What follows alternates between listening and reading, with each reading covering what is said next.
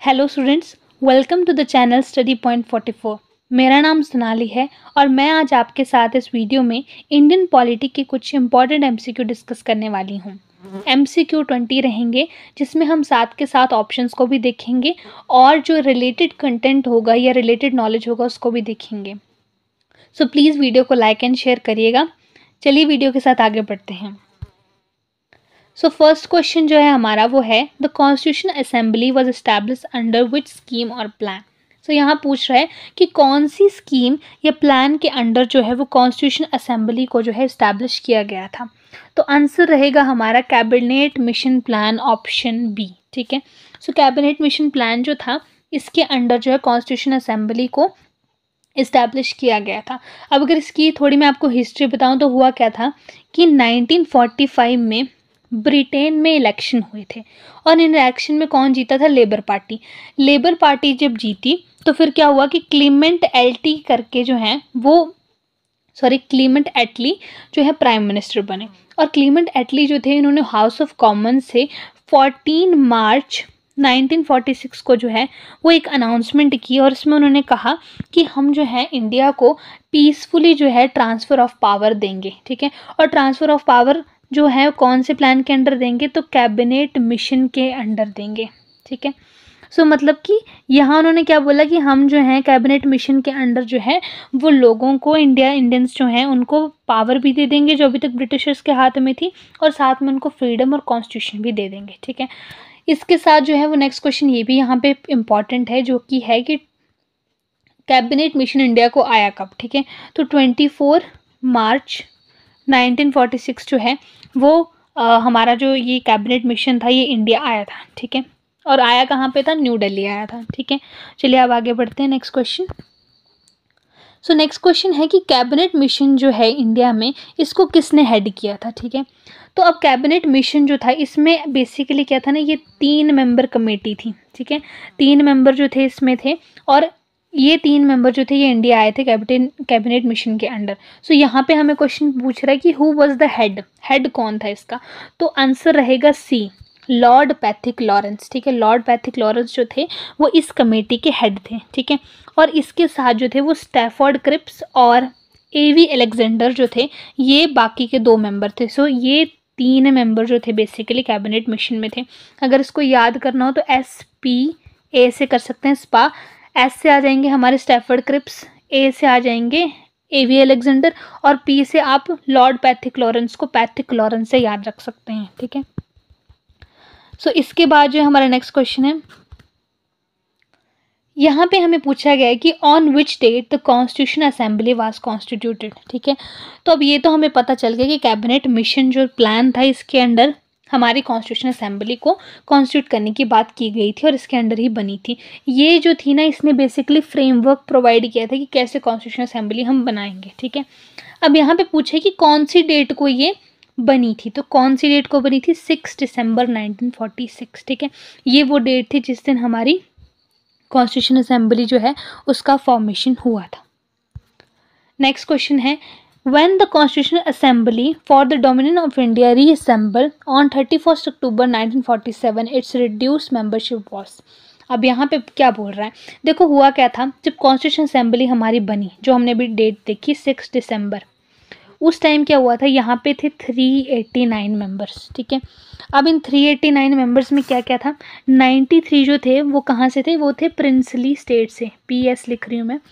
और बाकी जो थे वो कौन थे? टू नाइन्टी सिक्स क्या थे? ब्रिटिश इंडिया, ठीक है? ब्रिटिश इंडिया से थे, ठीक है? मतलब प्रिंसली स्टेट और ब्रिटिश इंडिया से टोटल जो थे ये कितने थे? हमारे थे थ्री एट्टी नाइन ठीक है? लेकिन बाद में क्या हुआ? जैसे कि हमें पता है, बाद में क्या हुआ कि इंडिया और पाकिस्तान जो है पार्टीशन हो गए। ये जो नंबर था थ्री एट्टी नाइन ये टोटल था। क्योंकि कैबिनेट मिशन जो था, उसके अंडर प्रपोजल में यही था कि इंडिया जो है, वो यूनिटी में ही रहे और कोई पार्टीशन ना हो, ठीक है? लेकिन बाद में क्या हुआ था, मोहम्मद अली जिन्ना जो थे और मुस्लिम लीग की रिक्वेस्ट पे जो था, वो पार्टीशन होने की बात हुई थी। और अब इस क्वेश्चन में हमें क्या पूछ रहा है? यहाँ पे मैं पूछ रहा है कि जब डोमिनियन ऑफ़ इंडिया रीअसेंबल हुआ रीअसेंबल का मतलब क्या है? कि पहले तो इंडिया जो था, वो अकेला इंडिया था, ठीक है?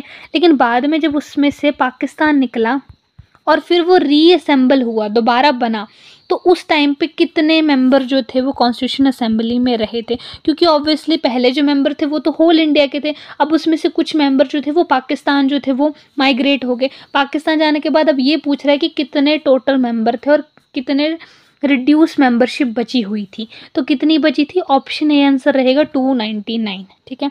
टू नाइन्टी नाइन जो थे वो मेंबर थे जो इंडिया में आफ्टर पार्टीशन बचे थे। अब नेक्स्ट क्वेश्चन है हमारा कि when was the first meeting of constitution assembly held after its formation formation की हमने बात कर दी, कब हुआ? सिक्स दिसंबर ठीक है? अब सिक्स दिसंबर को जो है कॉन्स्टिट्यूशन असेंबली बन गई। यहाँ पे पूछ रहे कि पहली मीटिंग कब हुई? तो ऑप्शन डी आंसर रहेगा नाइन दिसंबर 1946 को जो है वो फ़र्स्ट मीटिंग हुई थी, ठीक है? अब अगर आपसे क्वेश्चन किया जाए कि लास्ट मीटिंग कब हुई तो जो लास्ट मीटिंग थी, वो रही थी twenty four January nineteen fifty ठीक है? यहाँ पे जो है ये लास्ट सेशन रहा था कॉन्स्टिट्यूशन असेंबली की मीटिंग्स का। क्वेश्चन है अब हमारा कि how many meetings were held for the making of Indian constitution कि इंडियन कॉन्स्टिट्यूशन को बनने के लिए टोटल कितनी मीटिंग्स हुई थी? तो आंसर रहेगा हमारा इलेवन ठीक है? और इन इलेवन मीटिंग्स को कंप्लीट करने के लिए कितने डेज़ लगे थे? तो हमारा आंसर होगा one sixty five days in total ठीक है?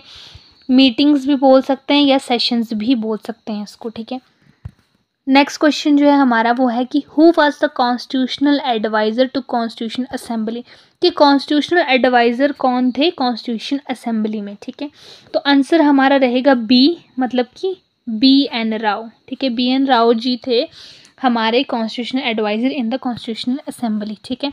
इसके बाद अगर हम बात करें डॉक्टर के एम मुंशी कौन थे तो डॉक्टर के एम मुंशी जो थे ना ये वर्किंग कमेटी के चेयरमैन थे, ठीक है? He is the chairman of working committee और इसके साथ साथ जो थे, इन्हों, ये जो थे पार्ट थे ड्राफ्टिंग एडवाइजरी और सब कमेटी जो फंडामेंटल राइट्स ठीक है? मतलब ये तीन चार कमेटी जो थी, उनके पार्ट थे, लेकिन चेयरमैन किसके थे? सिर्फ़ और सिर्फ़ वर्किंग कमेटी के। इसके बाद अगर हम बात करें एम सी सतलवैद ऑप्शन सी की तो एम सी सतलवैद कौन थे? ही इज़ द फ़र्स्ट ठीक है? फ़र्स्ट एंड साथ में longest first and longest serving attorney general, ठीक है? मतलब इंडिया के पहले अटॉर्नी जनरल और सबसे ज़्यादा समय के लिए सर्व करने वाले अटॉर्नी जनरल कौन है? एम सी सतलवेद ठीक है? ऑप्शन डी की बात करें तो ये कौन थे? डॉक्टर सजेदानंद सिन्हा जो थे, he is the oldest member. जितने भी मेंबर थे, उसमें से ये ओल्डेस्ट मेंबर थे कॉन्स्टिट्यूशन असेंबली में और साथ में he is also temporary president ठीक है? तो अगर क्वेश्चन आए कि टेम्प्रेरी प्रेसिडेंट कौन थे कॉन्स्टिट्यूशन असेंबली में तो वो थे हमारे डॉक्टर सच्चिदानंद सिन्हा, ठीक है? इसके साथ नेक्स्ट क्वेश्चन पे चलते हैं। नेक्स्ट क्वेश्चन है who was the chairman of the drafting committee of Indian constitution बहुत इंपॉर्टेंट क्वेश्चन है। तो इसका आंसर हमारा क्या रहेगा? Option D doctor B R Ambedkar and he is also known as father of Indian constitution ठीक है? इंडियन कॉन्स्टिट्यूशन के फादर भी किसको कहा जाता है? डॉक्टर बी आर अंबेडकर मतलब डॉक्टर भीमराव अंबेडकर ठीक है? नेक्स्ट क्वेश्चन है who was the president of constitution assembly तो कॉन्स्टिट्यूशन असेंबली के प्रेसिडेंट कौन थे? ठीक है? आंसर हमारा रहेगा doctor Rajendra Prasad. Doctor Rajendra Prasad constitutional assembly के भी प्रेसिडेंट थे और इंडिया के फ़र्स्ट प्रेसिडेंट भी थे।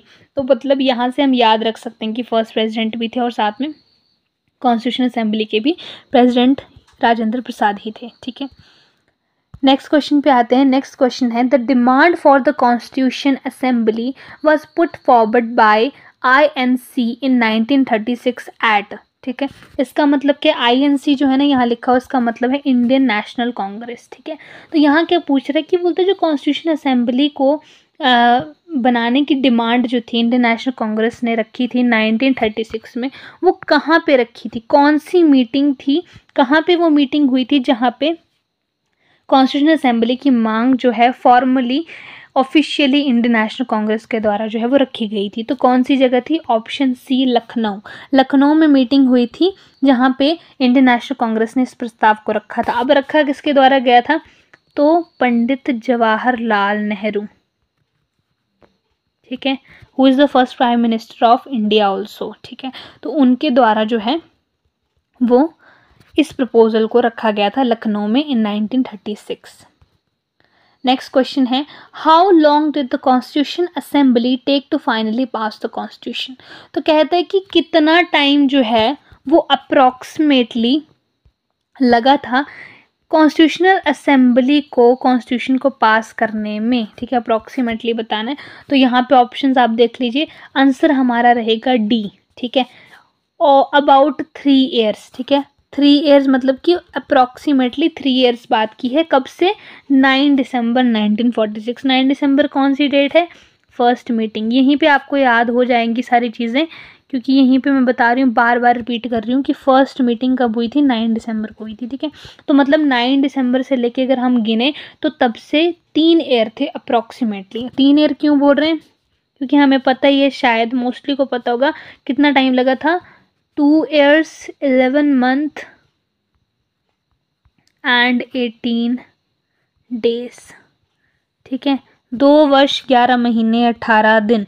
ठीक है? तो ऑलमोस्ट कितना हो गया? तीन घंटे तीन ईयर्स ही हुई ऑब्वियसली अब नेक्स्ट क्वेश्चन आता है.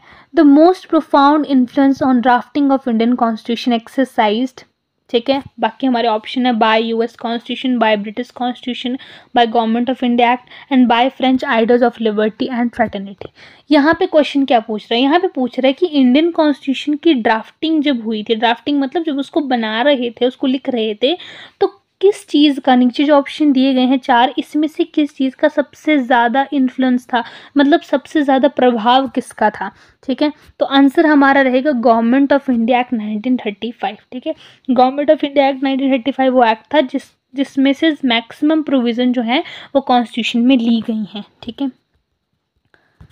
इसके बाद नेक्स्ट क्वेश्चन है हमारा। Who was the chairman of committee on fundamental and minority rights ठीक है? तो कह रहा है कि फंडामेंटल एंड माइनॉरिटी राइट्स जो थे, इसकी कमेटी के चेयरमैन कौन थे? तो सरदार वल्लभ भाई पटेल, ठीक है?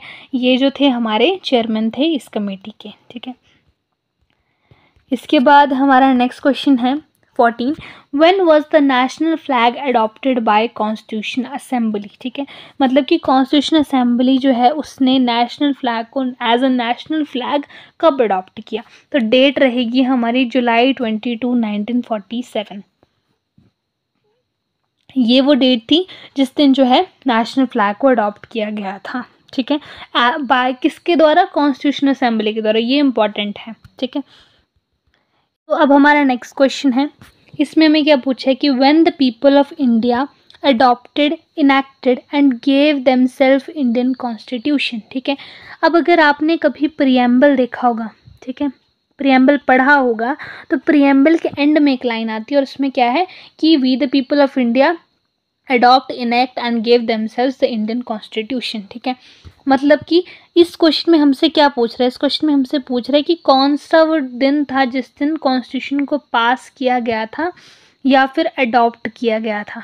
ठीक है? दोनों ही क्वेश्चन सेम है। तो यहाँ पे आंसर क्या आएगा? आंसर आएगा twenty six January nineteen forty nine ठीक है?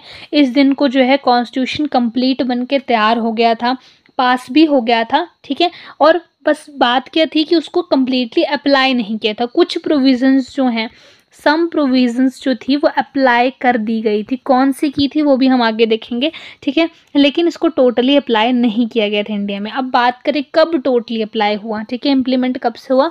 या अगर हमें पूछ लिया जाए कि इंडियन कॉन्स्टिट्यूशन की कमेंसमेंट डेट क्या है एनफोर्समेंट डेट क्या है, वो आ जाएगी twenty six January nineteen fifty ठीक है? जिसको हम कैसे मनाते हैं? एज अ रिपब्लिक डे भी मनाते हैं। तो इस दिन जो था, वो हमारा कॉन्स्टिट्यूशन को जो है वो इम्प्लीमेंट कर दिया गया था। ट्वेंटी सिक्स जनवरी को कॉन्स्टिट्यूशन डे से भी मनाया जाता है, ठीक है? इस दिन को। अब एक और क्वेश्चन जो अराइज होता है, यहाँ पे वो ये भी है जो मैं आपको बताना चाहूँगी कि twenty six January nineteen fifty date ही क्यों चूज़ की? क्योंकि बन तो गया था ट्वेंटी सिक्स नवंबर को तो फिर क्या ज़रूरत थी दो महीना वेट करने की?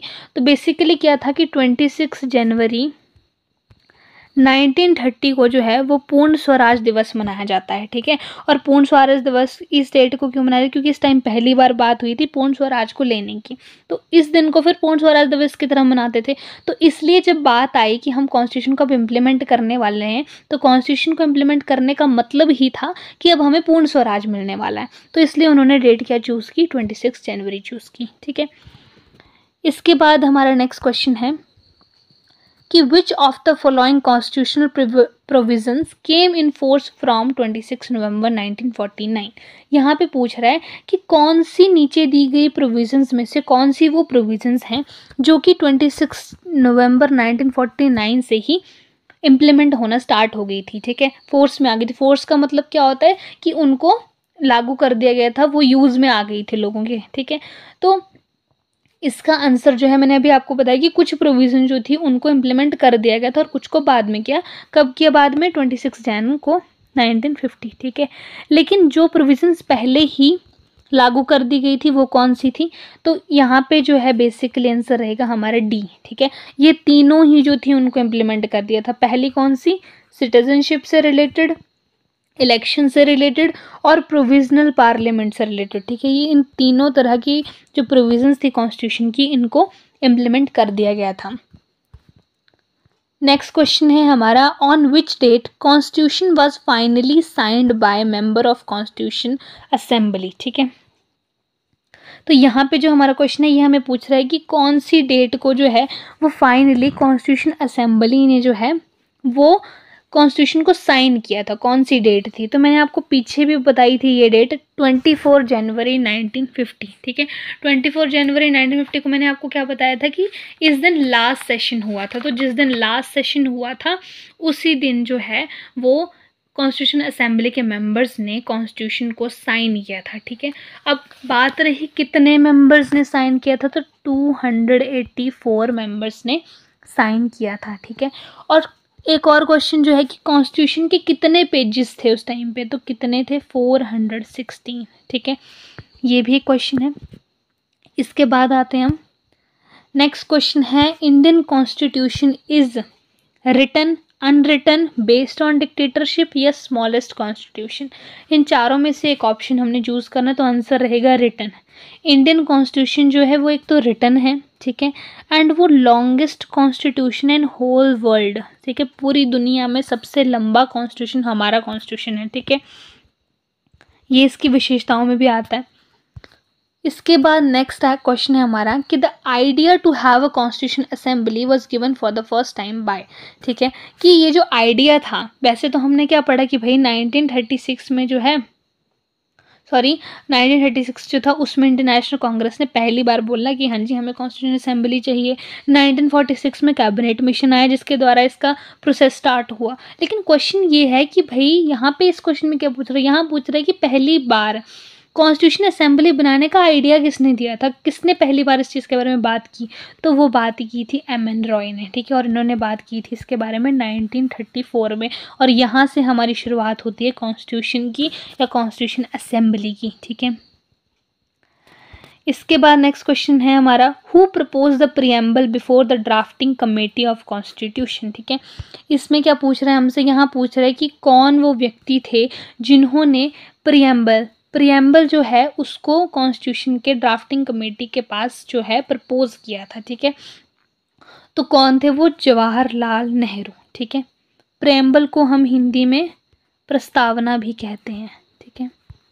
प्रियम्बल का मतलब क्या होता है? प्रियम्बल का मतलब होता है कि अगर जैसे पूरी कॉन्स्टिट्यूशन बना दिया उन्होंने तो प्रियम्बल जो है वो एक छोटा सा पेज है जो बता रहा है कि इस कॉन्स्टिट्यूशन में हम किस किस चीज़ की बात कर रहे हैं। ठीक है? जैसे कि सोवरनिटी हो गया, फिर यूनिटी एंड इंटीग्रिटी हो गया, ये सब चीज़ें जो हैं, ये सब आएँगी। तो किसने प्रपोज किया था ये आइडिया ये किया गया था जवाहरलाल नेहरू जी के द्वारा। ठीक है? जवाहरलाल नेहरू जी थे, उन्होंने प्रियम्बल को प्रपोज किया था। ठीक है? So thank you for watching आज के लिए इतना ही. ट्वेंटी क्वेश्चन ये जो हम डिस्कस करेंगे और बाकी के क्वेश्चन हम आने वाली वीडियो में देखते रहेंगे. प्लीज़ लाइक एंड शेयर कीजिएगा और अगर कोई भी डाउट होगा तो उसके लिए आप कमेंट सेक्शन में जो है वो कमेंट कर सकते हैं. Thank you so much have a good day